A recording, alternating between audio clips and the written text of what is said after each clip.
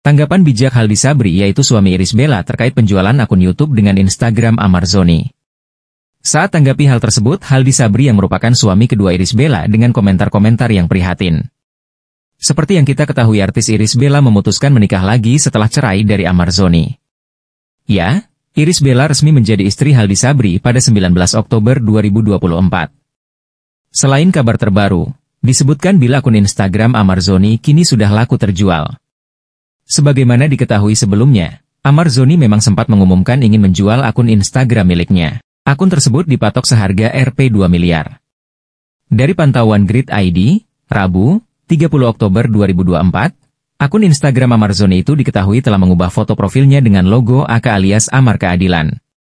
Kini akun dengan 8,4 juta followers itu berisi unggahan soal Mardani Hamaming, mantan Bupati Tanah Bumbu Kalimantan Selatan yang kini dipenjara karena kasus korupsi. Manajer Amarzoni, Christopher, pun telah membenarkan bahwa akun milik sang aktor sudah laku terjual. Opennya Rp 2 miliar, cuman kita juga menyesuaikan dengan penawaran yang serius, dikata Chris seperti dikutip dari Tribun Seleb. Selain akun Instagram, Amarzoni juga diketahui masih memiliki akun media sosial lainnya, seperti kanal YouTube. Kanal YouTube tersebut bernama ISH TV, karena dahulu memang dikelola oleh Amar dan Iris Bella. Lalu apakah Amarzoni juga akan menjual akun YouTube tersebut? Chris pun mengatakan bahwa Amarzoni akan mempertahankan akun YouTube miliknya. Ia menyebut Amarzoni akan bisa dengan mudah membuat akun Instagram baru sebab ia masih memiliki kanal YouTube yang subscribernya mencapai lebih dari 4 juta. Ia menyebut Amarzoni akan bisa dengan mudah membuat akun Instagram baru sebab ia masih memiliki kanal YouTube yang subscribernya mencapai lebih dari 4 juta.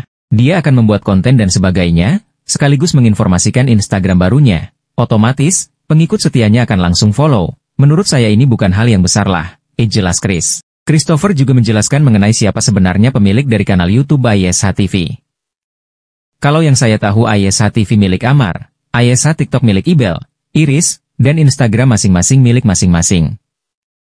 ISH itu terbagi menjadi empat, Amarzoni, Iris Bella, Instagram masing-masing, YouTube ISH TV dan ISH TV di TikTok.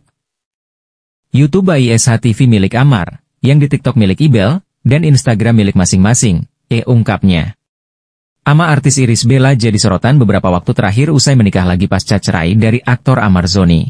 Iris Bella menikah lagi dengan Haldi Sabri, seorang pengusaha kaya asal Aceh.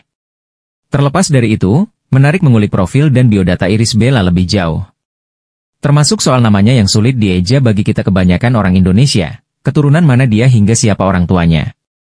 Iris Bella adalah Iris Bella adalah artis pemeran dan model Indonesia keturunan Belgia.